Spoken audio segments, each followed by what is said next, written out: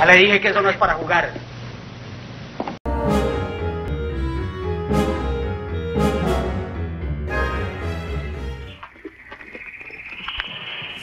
Cuidado con el alambre.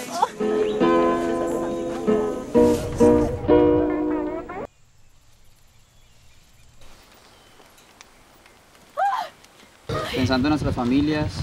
I should hear that phone